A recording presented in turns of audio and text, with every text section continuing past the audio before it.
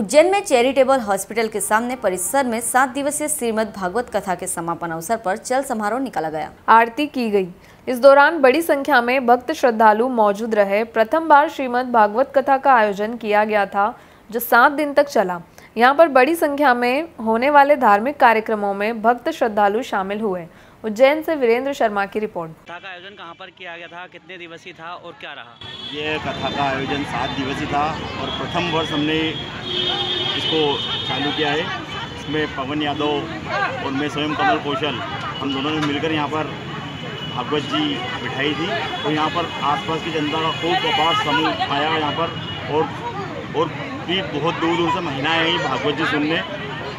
हमने हमारे यहाँ पर जो भागवत के वक्ता थे हरिनारायण जी शास्त्री उन्होंने उनके मुख से बहुत अच्छी अच्छी वाणियाँ सुनाई और महिलाओं को भी भागवत जी सुनने के बाद थोड़ी प्रेरणा लगी कि नहीं भागवत जी सुनने जाना चाहिए। क्या बताइए ये कथा का आयोजन कहाँ पर किया गया था और किस प्रकार से क्या रहा? श्रीमद भागवत कथा ज्ञान मिलने महोत्सव प्रथम वर्ष।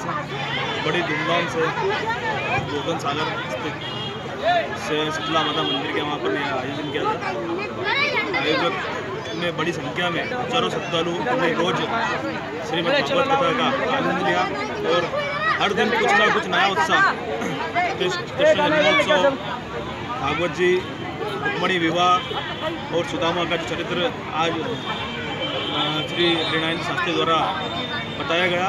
उसमें बड़ी संख्या में कर्म में जनताओं ने बड़ा लाभ लिया। हेलो फ्रेंड्स आप देख रहे हैं हमारा channel S W twenty four news हमारे सारे वीडियो सबसे पहले देखने के लिए आप हमारे चैनल को सब्सक्राइब करें और पास में लगे बेल आइकन को दबाना बिल्कुल भी ना भूलें।